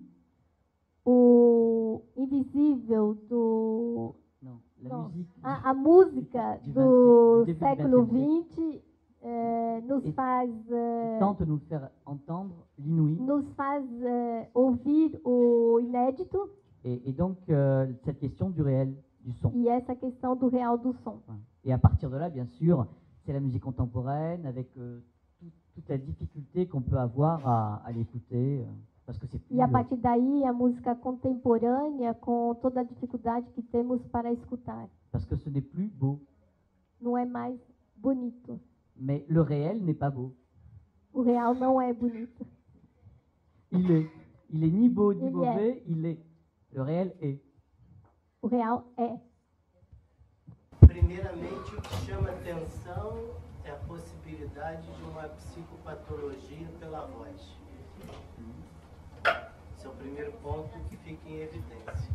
O primeiro ponto que ele deixa em evidência é a possibilidade de criar uma psicopatologia pela voz, pelo circuito da pulsão invocante. Nesse caso, na melancolia, segundo o seu raciocínio, é, não haveria a voz para. Só haveria a voz pura. Deixa eu só desenvolver. pas comme ça. Oi, Eu não diria isso. estou tentando pensar Oui, oui, non, a partir do que você colocou, que não é, não é muito fácil.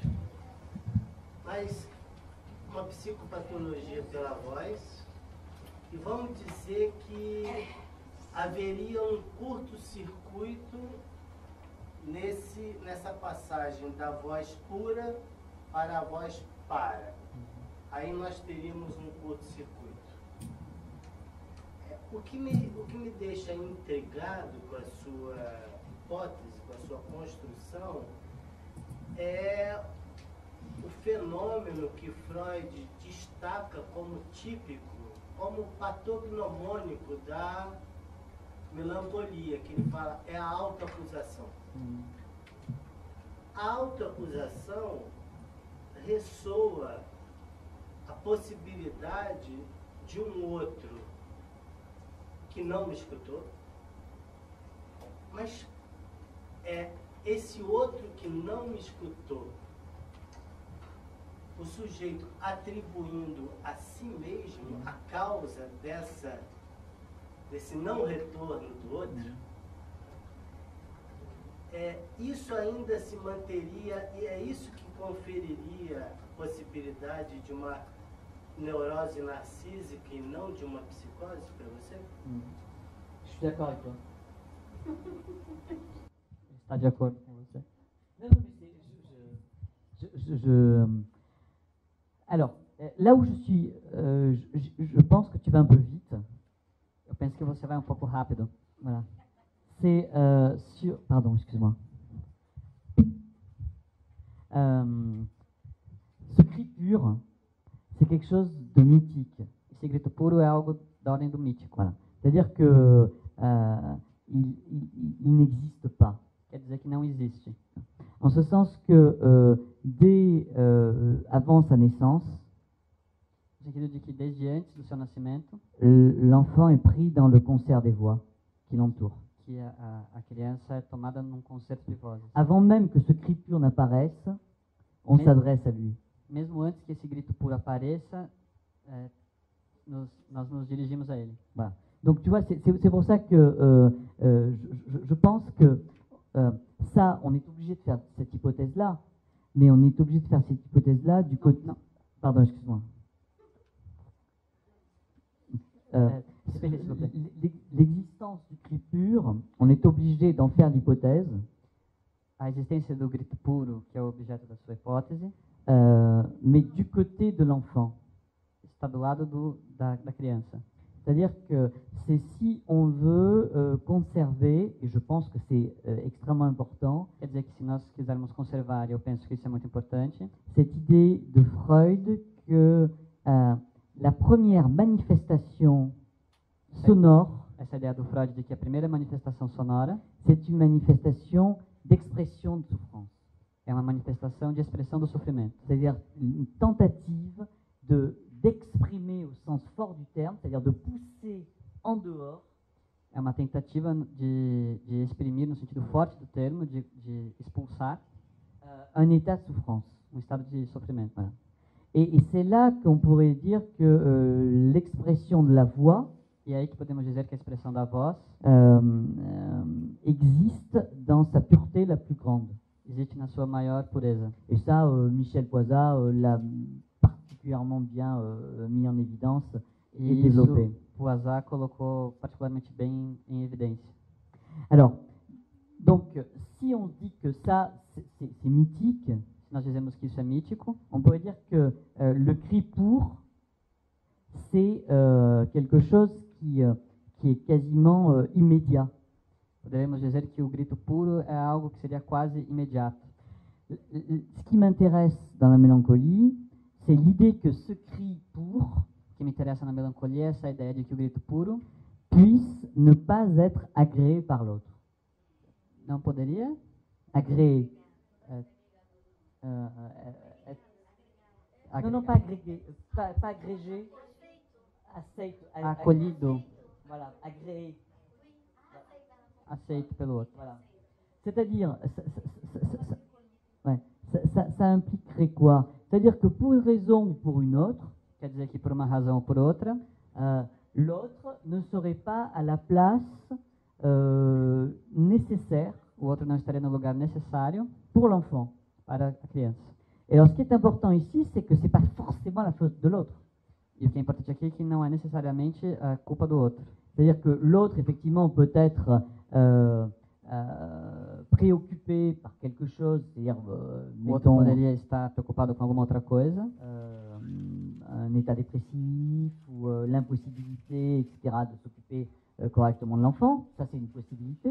a impossibilidade de se ocupar da criança, Mais il se peut aussi que l'enfant soit dans une nécessité euh, qui, qui ne peut pas être traitée par l'autre. e pode ser que a criança tenha uma necessidade que não possa ser tratada pelo outro.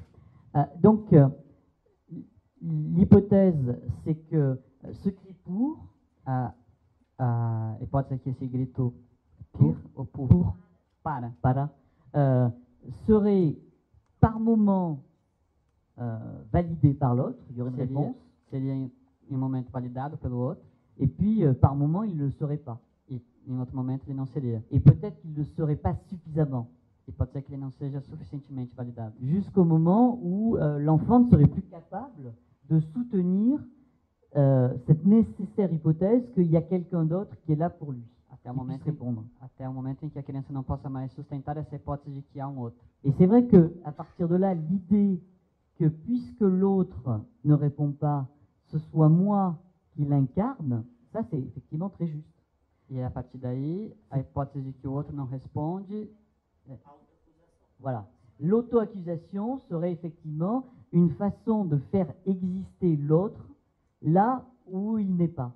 A autoacusação seria ah, uma maneira de fazer existir o outro lá onde ele não está. Et donc, d'une certaine manière, ça serait une façon de tenter de venir boucler le, le circuit de la pulsion invocante Então seria uma tentativa de fazer fechar o circuito da pulsão invocante, en faisant l'économie de l'autre.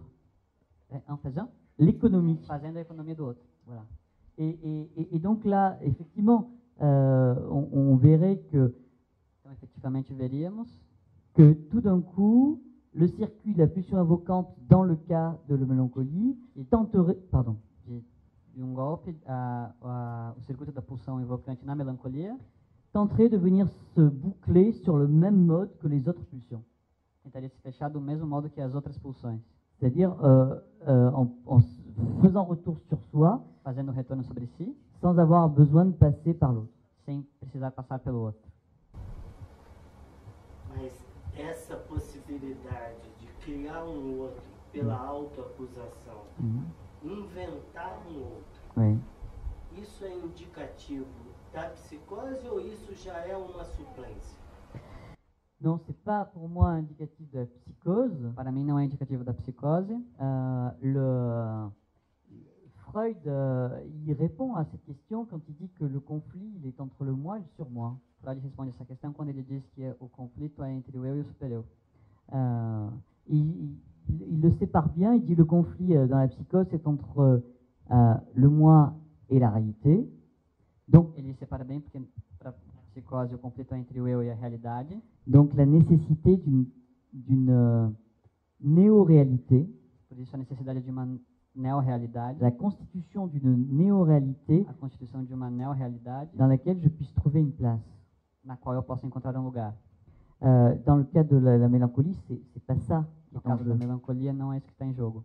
Ce qui est en jeu, effectivement, c'est euh, la déchétisation, que está em, em jogo é a, déchétisation, la transformation en déchet, a, a transformação em, em lixo, de voilà, euh, que l'enfant a pu vivre lorsque, effectivement, il n'a pas rencontré cet autre suffisamment euh, présent pour pouvoir le soutenir. quando a criança pode viver quando não encontrou esse outro suficientemente? Suffisamment presente. Ouais. Et à ce moment-là, effectivement, euh, il choisit, il, euh, il s'identifie à, à l'objet perdu.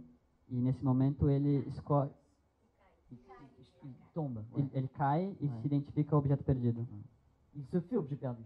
Ele se faz objeto perdido. Ao mesmo tempo, a gente teria aí o fundamento de um dos afetos que são típicos, que é típico da melancolia, que é a crueldade. né? O próprio Jacques Assun escreveu um livro que Oui. tem esse título. Ouais.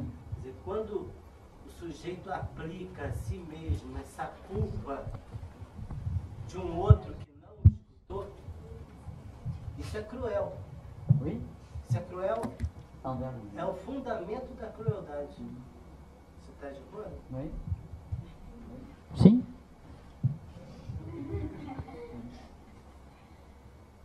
Sim, porque são as duas paixões tipicamente melancólicas, a autoacusação e a crueldade. Agora, na tua experiência, como foi o, o avanço desse tratamento em que o paciente repetitivamente eh, se autoacusava, que não havia um outro que o escutava? Alors, euh, j'ai eu l'occasion de suivre plusieurs euh, patients euh, donc, qui, étaient, euh, clairement mélancoliques. Eu tive a possibilidade de, de acompanhar vários pacientes que eram claramente melancólicos. Euh, on pourrait dire que ce qui, fonctionne, ce qui a fonctionné dans, dans leur cas, Poderia dizer que o que funcionou no caso deles c'est le repérage de la dimension clairement fictionnelle du transfert. é a operação Fictionnelle, é claramente ficcional da transferência. voilà. C'est-à-dire que euh, le- ce qui était intéressant chez ces patients-là, c'est que, euh, O que era interessante nesses pacientes euh, c'est et ils, étaient extrêmement sensibles, voire douloureusement sensibles, que eles eram muito sensíveis, dolorosamente sensíveis à la question du semblant. à do semblante. Voilà. C'est-à-dire que bon, euh, ce, qui, ce qui nous fait tenir ensemble, les règles, bon, ils savent très bien, hein, il faut qu'il y en ait, hein, Bom, que faz com que estejamos juntos, as regras. mais euh, eux-mêmes, euh, ils étaient toujours extrêmement euh, écorchés par cette question-là. Eles eram écorchés, Oui, écorchés. é, eles eram escalpelados por essa questão. Donc, euh, euh, par exemple, euh, une de, de- de ces euh, patientes à laquelle je pense euh, pouvait jouir de la fiction, de l'illusion, Por exemplo, um dos pacientes que, na qual eu penso é que ela, ela po- podia gozar dessa ficção lorsque c'était une fiction qui s'avouait comme telle, comme dans l'art, par exemple. Dans l'art. Uma ficção que se colocava como tal, como na arte, por exemplo. Voilà. C'est-à-dire que euh, c'était pas une fiction qui faisait tenir ensemble des êtres humains, mais c'était une fiction qui, qui- qui était là uniquement pour elle-même. Era uma ficção que não dizia respeito a colocar os, as pessoas juntas, mas era uma ficção que estava lá apenas para ela mesma. Et euh, très vite, elle avait repéré que le transfert, c'était aussi un espace fictionnel. E muito rapidamente ela percebeu que a transferência era também um espaço ficcional. Et euh, ce en quoi je je l'ai jamais euh, détrompé, au contraire. Que eu, eu nunca eh, desmenti, ao contrário. Euh, et donc, euh, elle a pu investir à ce moment-là cet espace comme étant un espace de fiction, s'avouer comme tel, comme, comme une œuvre d'art. ela, ela pôde então investir esse espaço como tal, como se fosse um, um espaço de arte, que se colocava como tal. Uma obra de arte. Euh, alors, le transfert est bien sûr, dans le cas des mélancoliques, marqué par euh, cette opposition entre jugement d'attribution jugement d'existence. Bom, a transferência nos casos de melancolia são claramente marcadas por essa posição, oposição entre julgamento de existência e julgamento de atribuição. Par exemple, cette patiente pouvait euh, euh, appeler dizaines, vingtaines, trentaines de fois dans la nuit Por exemplo, essa paciente poderia me chamar uma dezena, uma vintena, uma trintena de vezes à noite, euh, mon répondeur téléphonique, simplement pour, me disait-elle, entendre ma voix. Et ce qui est intéressant, c'est que là, effectivement, ce qu'il importait, c'était de contacter ma voix O que importava era contactar a, a minha voz, et non pas ce que je pouvais dire, parce que sur le répondeur. euh, não o que eu pudesse dizer. Et elle avait un. un-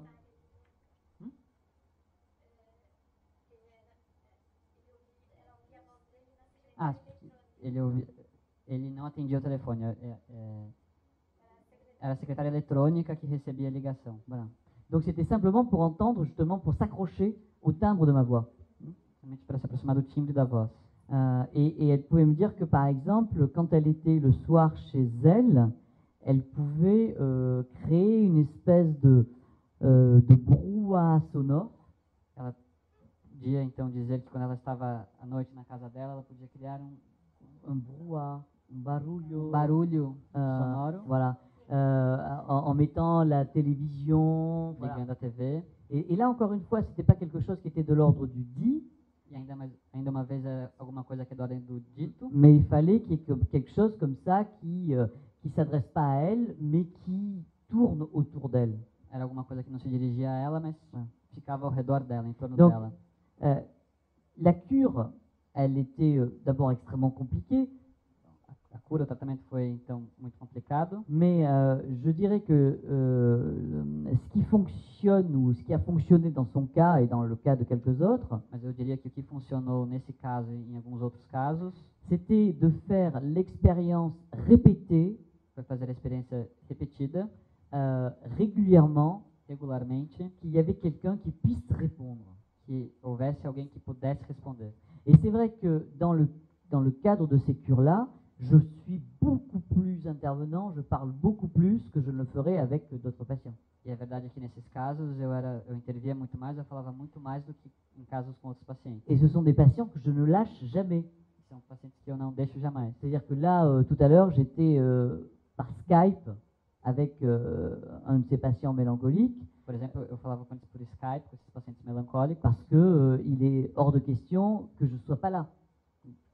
não é questão que eu esteja lá. Si on fait l'hypothèse qu'effectivement, il faut qu'ils puissent expérimenter qu'il y a quelqu'un qui soit là pour pouvoir répondre, Se nós fazemos a hipótese que haja alguém que esteja lá para poder responder, ça nécessite effectivement au moins pendant les premiers mois, voire les premières années de la cure, é, é preciso que haja, pelo menos nos primeiros meses, no primeiro ano da, do tratamento da cura, euh, qu'il y ait une continuité absolue. haja uma continuidade absoluta. Voilà. Euh, je l'ai appris à mes dépens, puisque euh, une des premières patientes mélancoliques que j'avais suivies, euh, Um dos primeiros pacientes melancólicos que euh, j'étais parti et il y a eu une- une, un passage à l'acte suicidaire eu, eu saí e, te, e houve uma passagem ao ato suicida au moment où, n'étais pas là. no momento em que eu não estava lá. Et effectivement, elle avait essayé de me joindre, elle avait essayé de me joindre, et là, elle rejouait transférentiellement cet appel sans réponse.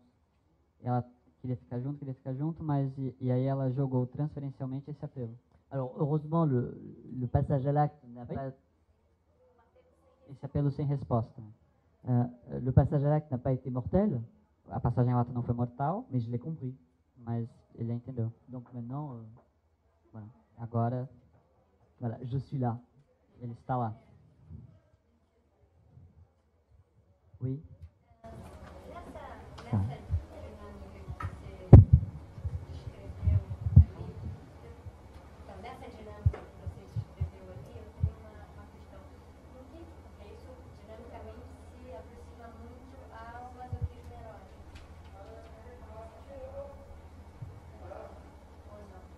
Ou não? Euh, dans cette dynamique-là, Oui. Euh, alors,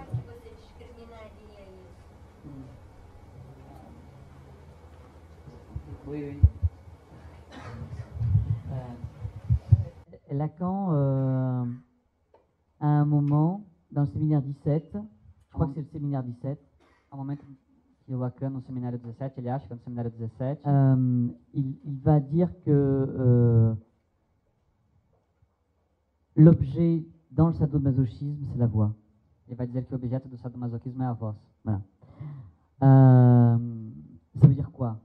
Ça veut dire que euh, l'objet de jouissance dans le couple sadomasochiste Isso quer dizer que o objeto de gozo no, no par ne serait pas la douleur, não seria a dor, ne serait pas la puissance exercée sur l'autre, o poder sobre o outro, mais ça serait de venir arracher l'objet voix ou le maintenir,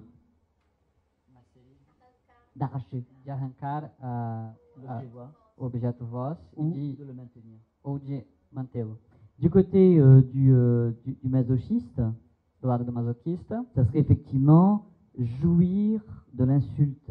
seria de fato gozar Ah. do, do insulto. C'est-à-dire, c'est c'est le, c'est le maître É o mestre qui euh, objective le, le masochiste que objetifica o, o masoquista et qui euh, l'enferme comme ça dans, dans un mot, mais qui est plus, je dirais, une, une jaculation sonore que o aprisionaria sobre uma palavra, mas que seria mais de uma ejaculação sonora euh, qu'une insulte.